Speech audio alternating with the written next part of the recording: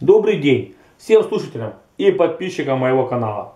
Сегодня мы разберем топ-13 вопросов экзаменационных билетов, в которых учащиеся автошкол чаще всего допускают ошибки. Да, знание правил дорожного движения для решения экзаменационных вопросов, конечно, необходимо.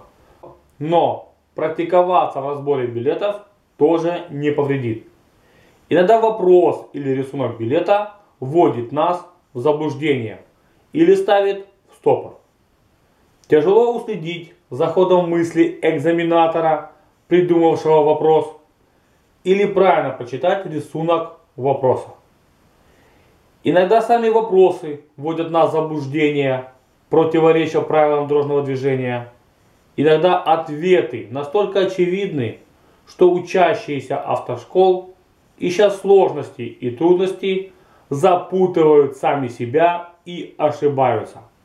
Итак, поехали. 13 место в этом рейтинге занимает 12 вопрос второго билета. Разрешается ли вам остановиться в указанном месте? Нам предлагают остановиться на перекрестке с круговым движением. И размышляя логично, не желая препятствовать движению других транспортных средств, мы запрещаем себе остановку в этом месте. Но пункт 12.4 правил дорожного движения гласит, что остановка запрещена на пересечении проезжей частей и ближе 5 метров от края пересекаемой проезжей части. Соответственно, второй вариант ответа является верным. 12 место. 13 вопрос 18 билета. Обязаны ли вы уступить дорогу легковому автомобилю при повороте направо? Сложностей в этом билете нет. Кроме того, что светофор изображен не полностью во весь рост, а только его разрешающий сигнал. И как бы не банально звучало, очень часто на экзаменах студенты автошкол не замечают светофор вообще. Потеряв светофор из виду, они начинают подчиняться знакам приоритета и уступают дорогу встречному автомобилю. Ну а если светофор нами обнаружен, то проблем нет. Зеленый сигнал светофора разрешает нам движение, а при повороте направо у нас помехи не будет. Знаки приоритета в этом случае отменены. 11 место. 15 вопрос 21 билета. Как вам следует поступить при движении в прямом направлении. Логика подсказывает, что у нас помеха справа, и мы обязаны были бы уступить дорогу грузовому автомобилю. Но первый вариант ответа нам подсказывает, что оказывается грузовик движется по грунтовой дороге, что визуально на рисунке не очень-то и видно. Грунтовочку могли бы нарисовать и почетче.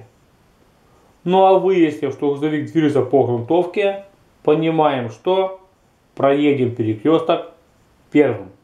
Десятое место занимает одиннадцатый вопрос 25 билета. Можно ли вам выполнить обгон? Прямых запретов на обгон на этом участке дороги нет. Единственным ограничением для обгона является видимость, недостаточная для завершения безопасного обгона. Но на рисунках видимость понятие относительное. Тем не менее, правильный ответ в этом билете – обгон запрещен. Девятое место. Вопрос 13 восьмого билета. Перед нами перекресток с разрешающим сигналом светофора и предписывающим знаком 4.1.1 движение прямо. У нас спрашивается – кто из водителей, выполняющих поворот, нарушил правила. Многие, увидев зеленый сигнал светофора, считают, что он отменяет все ранее прописанные знаками запреты, и знакам мы подчиняться не должны. Но это не так. Светофор отменяет только знаки, определяющие порядок проезда перекрестка, то есть знаки приоритета. А значит, предписывающий знак действующий и обязывает водителей двигаться только прямо. Выполняя поворот, оба водителя нарушили правила дорожного движения. Восьмое место принадлежит 16 вопросу 15 билета. На рисунке вопроса предложены три траектории для движения при повороте направо. При условии, что крайняя правая полоса предназначена для маршрутных транспортных средств. В связи с чем перед нами встает два взаимоисключающих себя запрета.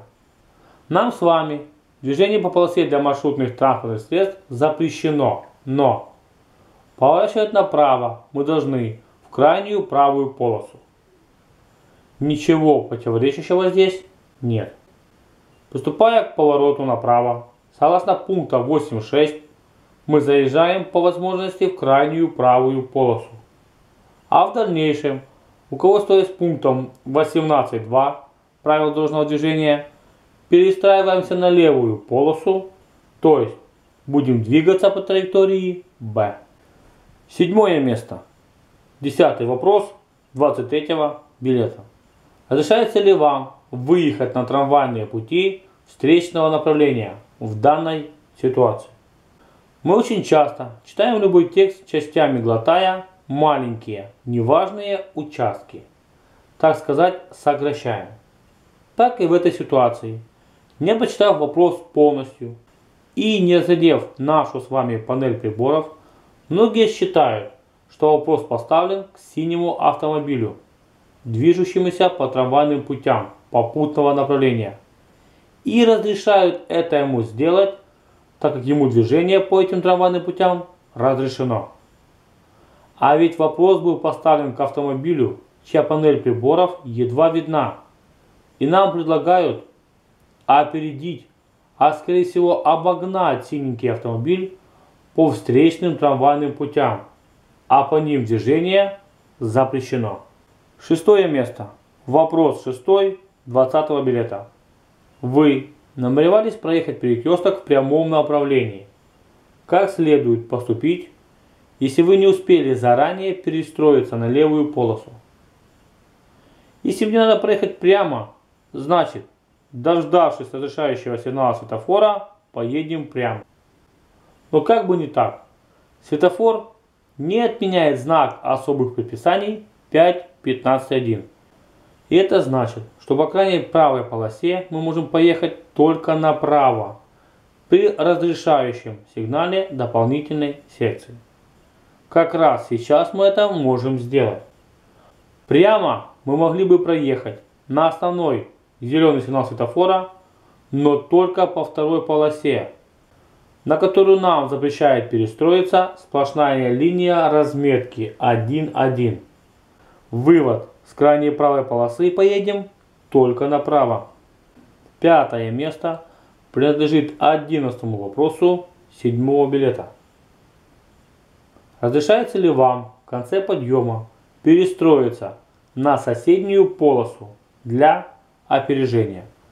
Многие считают, что ключевая фраза в этом вопросе «конец подъема» и запрещают это сделать помня о запрете на обгон в конце подъема. Да, это так, но средняя полоса для движения отделена от крайней левой полосы сплошной линией разметки 1.1. А от нашей полосы для движения средняя полоса отделена прерывистой линией разметки 1.5. Значит, эта полоса предназначена для движения в попутном с нами направлении.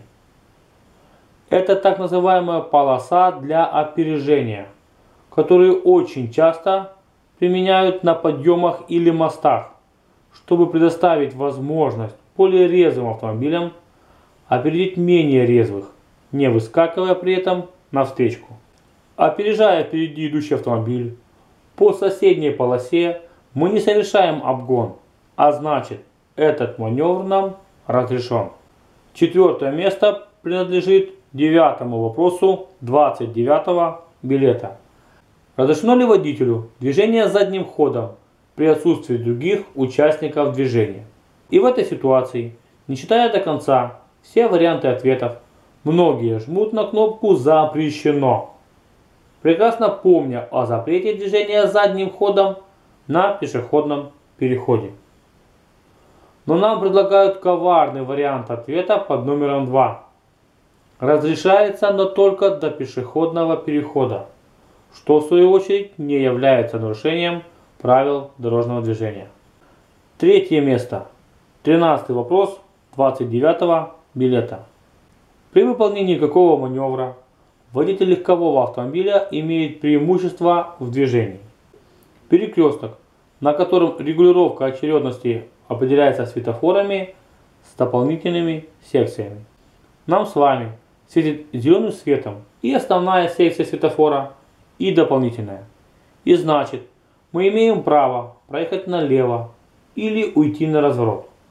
Инстинкт самосохранения и некоторые знания правил дорожного движения подсказывают, что при повороте налево мы получаем помеху справа от газельки, а при развороте еще и от автобуса.